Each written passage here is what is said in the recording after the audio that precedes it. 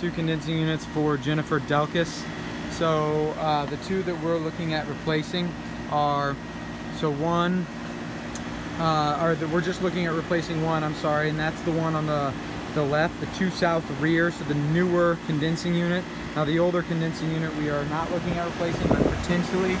Um, so this one is a one and a half ton, and this one is actually 1993, the one here on the right. And then on the left side is our, um, uh, so this one is the um, the two ton that we're looking at uh, that they're currently having issues with, and this one is the 2007. So we will need to get a crane to get any uh, equipment up here.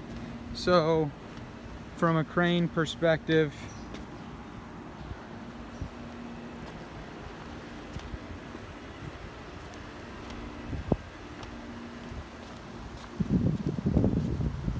looks like this is our best shot.